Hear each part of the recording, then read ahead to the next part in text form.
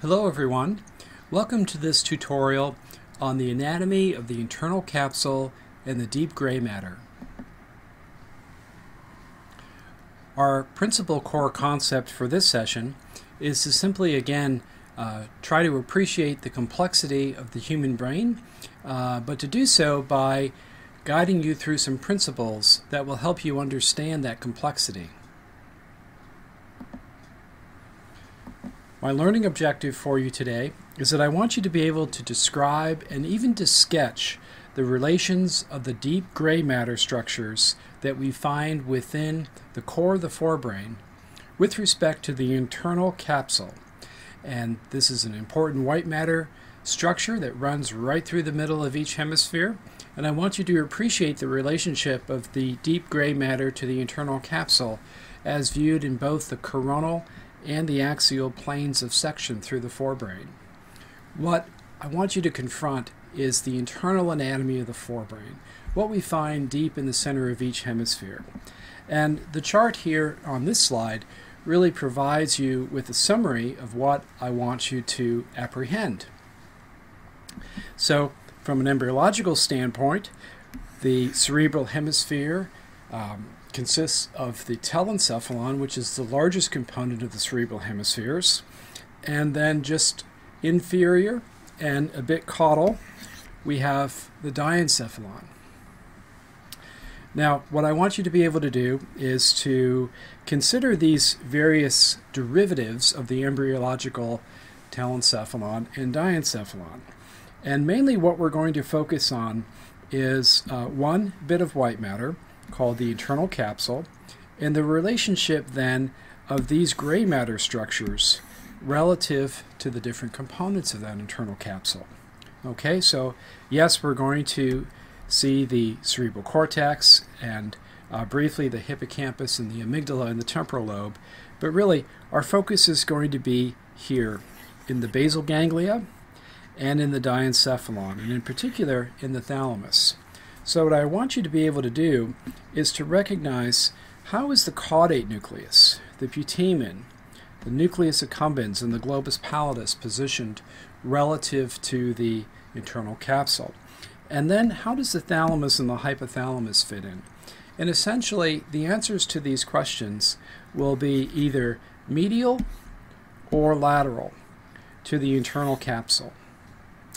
And then to complete the picture, we can consider the placement of some additional white matter structures, such as our commissures of the forebrain, the corpus callosum, and the anterior commissure. Uh, we'll see how the fornix fits in. And then I want you to appreciate how the ventricles that are associated with the forebrain, the lateral ventricle and the third ventricle, are arranged relative to the deep gray matter in the internal capsule. Okay, well, let me show you what I'm talking about. If we look at the lateral view of the cerebral hemisphere, and if it were possible to look right through the cortex, as we're doing here in the illustration to the upper right, what we would see are a series of gray matter structures arranged around white matter. And the gray matter now are isolated for you on the left. And the colors that uh, we see here are indicative of some of the major divisions of this deep gray matter. This purplish color shows us the basal ganglia. And uh, the basal ganglia that can be seen from the lateral view includes the caudate nucleus, the putamen, and the nucleus accumbens. Now you'll notice that they really don't look like they're separate structures, but rather just a complex three-dimensional unitary structure. And indeed, uh, that's a very helpful way to think about the basal ganglia. Together, these three structures are called the striatum because of the arrangement of cells in this general region of this structure between the putamen and the caudate divisions. Well, I want you to understand how is that striatum, or these divisions of the basal ganglia, arranged relative to the thalamus and to the internal capsule. And you see the thalamus is positioned uh, slightly posterior, but on the medial side of the putamen. Hopefully you get a sense of that. But there is this internal capsule that I've been referring to. And let me just sort of illustrate that for you here so you know how that fits in. The internal capsule is this massive system of white matter that runs between the cerebral cortex and everything that falls below the cerebral cortex. So that's going to include the thalamus, it's going to include the brainstem, and it's going to include the spinal cord. Now, many of these axons, as I've been illustrating here, are heading in the descending direction. Some of them will actually go all the way down into the spinal cord. Other axons, namely those that are coming from the thalamus, are actually projecting back to the cerebral cortex. And so, what we have in each hemisphere is this massive fan of white matter that comes together in a compact bundle and passes between parts of the basal ganglia and the diencephalon as this white matter courses from the forebrain down into the hindbrain. Well, if we turn now to our enlarged view of the basal ganglia, this is exactly where we would see those axons. They would be slipping in this little cleft here between the body of the caudate nucleus, the thalamus, and the basal ganglia, the putamen, the nucleus accumbens.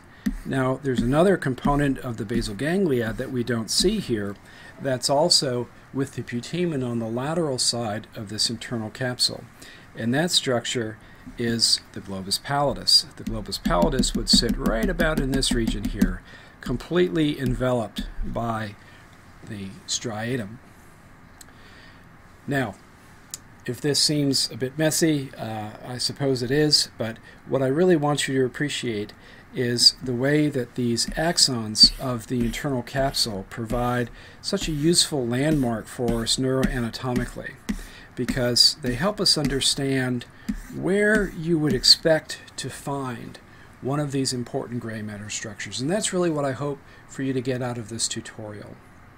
Well, let's back up a slide and I'll tell you exactly where you should expect to find these gray matter structures relative to the internal capsule. Okay, so again, our focus is primarily on the basal ganglia and the thalamus. What we would expect to find are two structures that are found on the medial side of the internal capsule. Those would be the thalamus and the caudate nucleus. On the lateral side of the internal capsule, we would expect to find the putamen and the globus pallidus. Now, what about the nucleus accumbens, you might ask? Where would we find that? Well, the nucleus accumbens is really neither medial nor lateral. I would say it's actually inferior to the internal capsule. And you'll see what I mean when we look through sections of the brain.